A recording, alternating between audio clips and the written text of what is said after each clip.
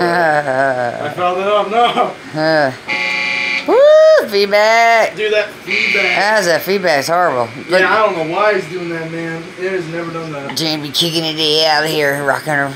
Actually, my, oh, probably might be the strings. It is fine, Mustang. It could be actually probably the strings. I might- Now it goes that string that you didn't lose, cause it's out of ten. No, it ain't out of ten. It's out of ten. I tuned it that way so I can do this. Yeah, but it sounds better when it's uh.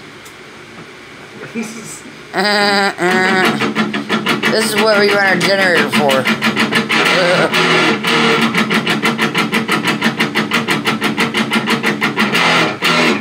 yeah,